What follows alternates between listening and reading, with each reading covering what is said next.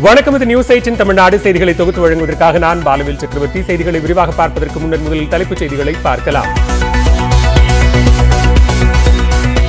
Baby அணையை பலப்படுத்தி முல்லைப் பெரியாறில் நூற்றி ஐம்பத்தி இரண்டு அடி வரை நீர்த்தேக்க விரைவில் நடவடிக்கை. அணையை ஆய்வு செய்த பின்னர் அமைச்சர் துரைமுருகன் பேட்டி.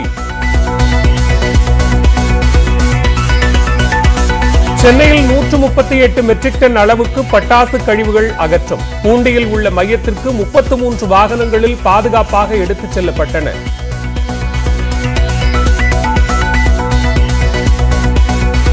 திருமணம் செய்யாமல் ஒன்றாக சேர்ந்து வாழ்பவர்கள் குடும்ப நல நீதிமன்றத்தை நாட எந்த சட்ட உரிமையும் இல்லை.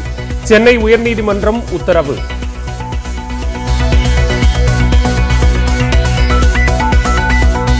புதுக்கோட்டையில் அனுமதியின்றி நடத்தப்பட்ட மஞ்சுவிரட்டில் நிகழ்ந்த சோகம். காளை குத்தியதில் பார்வையாளர் ஒருவர் உயிரிழப்பு முப்பதுக்கும் மேற்பட்டோர் காயம்.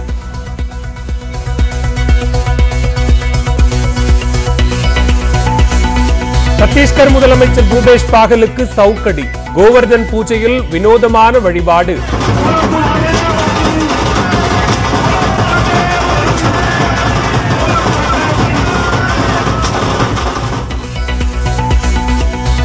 சேலம் கிருஷ்ணகிரி தருமபுரி ஈரோடு உட்பட பத்து மாவட்டங்களில் இன்று கனமழைக்கு வாய்ப்பு. தமிழகத்தில் ஐந்து நாட்கள் பரவலாக மழை பெய்யும் என வானிலை மையம் தகவல்.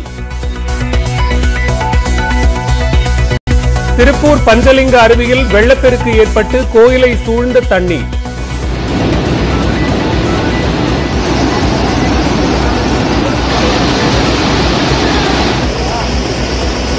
ஜவ்வாதுமலை அடிவாரத்தில் வெள்ளப்பெருக்கில் சிக்கிய சுற்றுலா பயணிகள் பாதுகாப்பாக மீட்பு. இந்தியாவின் கலாச்சார பெருமையை உலகமே வியந்து பார்க்கிறது. கேதார்நாத்தில் புதிய திட்டங்களை தொடங்கி வைத்து பிரதமர் மோடி பேச்சு.